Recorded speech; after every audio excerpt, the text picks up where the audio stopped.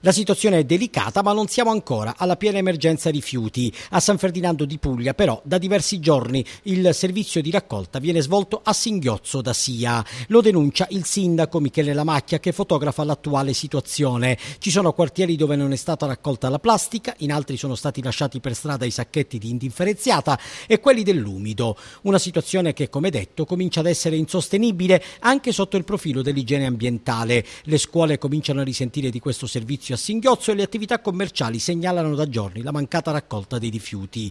A ciò si aggiunga, come racconta ancora il sindaco, che da una decina di giorni non viene effettuato il servizio di spazzamento delle strade.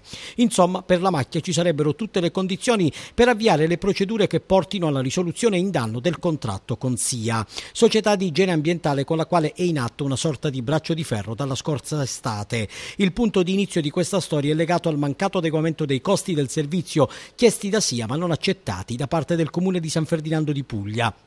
Vicenda che deve contemplare anche qualche passaggio giudiziario con il Tarpuglia che qualche settimana fa ha sospeso un paio di ordinanze del sindaco alle quali la macchia nel periodo estivo era dovuto ricorrere per far pulire il paese che rischiava il collasso. La causa di merito, anticipa il primo cittadino, verrà discussa il prossimo 6 dicembre, mentre SIA avrebbe ritirato il ricorso presentato in sede civilistica per richiedere l'adeguamento della tariffa per il servizio di raccolta rifiuti. La situazione resta fluida con la macchia che conferma la volontà di avviare la procedura procedura per la rescissione in danno.